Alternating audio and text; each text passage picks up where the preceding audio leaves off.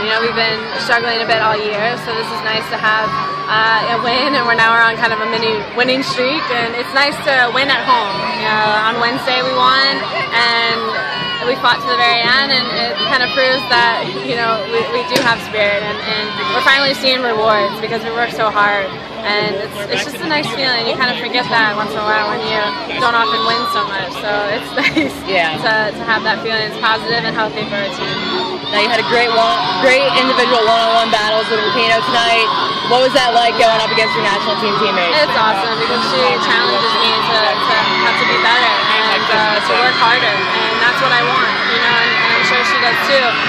Because you don't necessarily get that very often, and you know when you go up against a great midfielder like her, then it, it makes you work a little bit,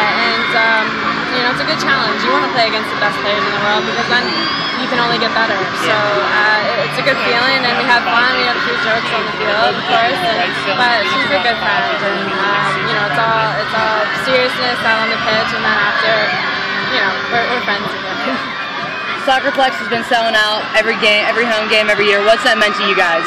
It's good. We have an awesome complex. I mean, you can hear it in the background. There's so many fans here out to support us, and I think it's healthy for the first year of the league. You know, we, we didn't really assume that there was going to be that many people who were interested. Um, you don't see that many advertisements actually about the league. Sometimes I, I talk to people, you know, uh, out in DC, and, and they have really no clue that there's uh, an NWSL or a women's football league in the, in the U.S. So it's nice to see that people are reacting and coming out and really enjoying the atmosphere, especially when we win. That means they come the next games as well. So it's really healthy.